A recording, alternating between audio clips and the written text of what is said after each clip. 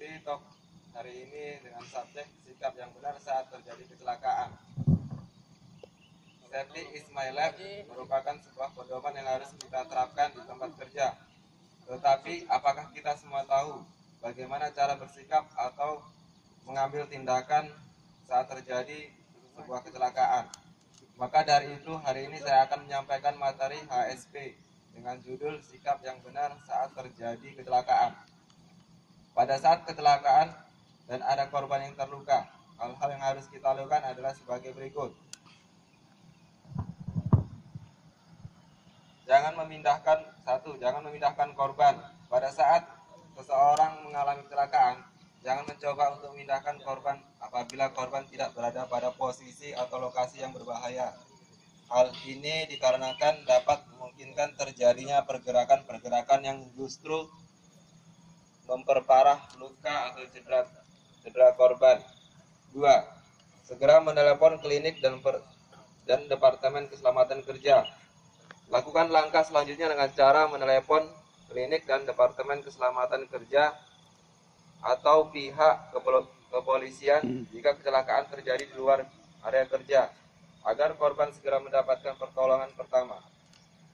Jaga sikap agar kita tetap tenang dan tidak panik untuk memberikan keterangan yang jelas dan hanya menyebutkan secara singkat nama, nama Anda, lokasi kejadian, jumlah korban, dan kondisi korban untuk mempersingkat waktu.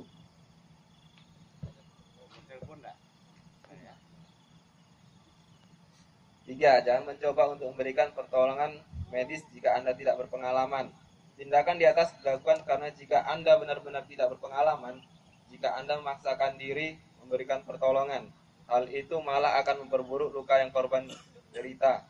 Hal yang bisa Anda lakukan adalah menjaga agar kondisi tetap tenang dan menjaga korban dari orang-orang yang mungkin dapat memperparah luka korban.